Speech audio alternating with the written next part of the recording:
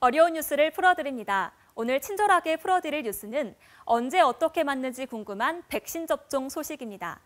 상대적으로 젊은 층은 나는 언제 백신을 맞나 기다려 오셨을 텐데 어제부터 40대 이하 코로나19 백신 접종 사전 예약이 시작됐습니다.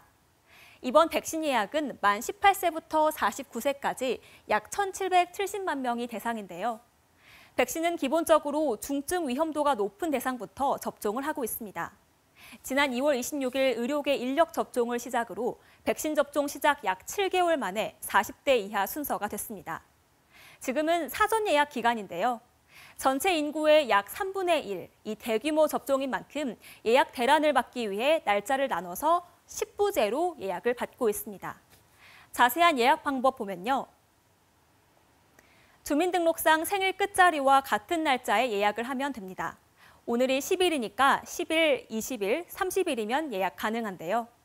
만약 날짜를 놓쳤다, 그러면 19일부터 4흘 동안 나이대별로 추가 예약을 할 수 있습니다.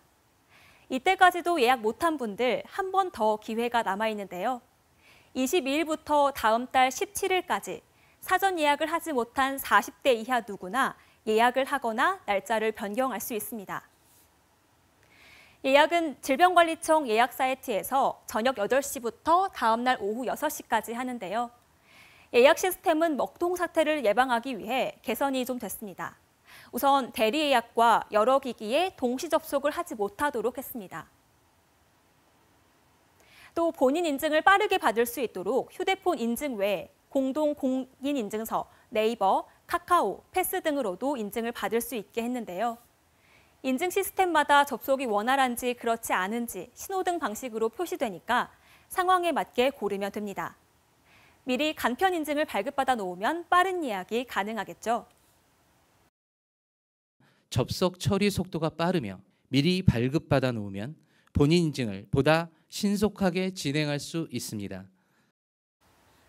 실제 접종은 약 보름 뒤 오는 26일부터 9월 한 달간인데요. 맞게 되는 백신은 화이자와 모더나, 둘 중 무엇을 맞을지는 공급 상황에 따라 접종 일주일 전에 알려줍니다. 그런데 여기서 드는 궁금증, 백신은 충분한가인데요. 백신의 총 공급량은 충분한 상황입니다. 다만 전 세계적으로 백신 수급 상황이 불확실한 상황이어서 어, 백신의 구체적인 공급 시기에 대해서는 어, 불가피하게 일정이 변경될 가능성은 남아 있는 그런. 이달 말 들어오기로 한 모더나 백신 물량이 반토막이 나면서 공급 차질이 빚어지고 있는 상황. 그래서 백신 2차 접종 간격이 4주에서 6주로 늘었습니다. 단 수능을 앞둔 고3 수험생과 고교 교직원은 원래대로 3주, 대입 수험생은 4주로 접종 간격이 유지되고 초등학교 고학년과 중학교 교직원은 계약 전에 접종을 할 수 있게 5주로 변경됩니다. 지금까지 전체 접종률 보면 75세 이상은 85%가 2차 접종을 완료했고요. 6, 70대는 대부분 1차 접종을 마친 상태. 현재 50대 접종이 진행 중입니다. 이 정부 안대로 9월까지 1차 접종률 70%를 달성하기까지 변수가 많아 보입니다.